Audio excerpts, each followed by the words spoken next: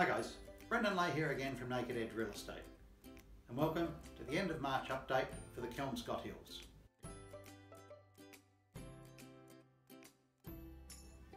In the last six months there have been 16 sales. The number of homes on the market at the moment sitting at around 34. The highest price paid has been $850,000 and the lowest has been $200,000. We have a median price currently sitting at 372,500. As always, if there's anything we can help you with, feel free to give us a call.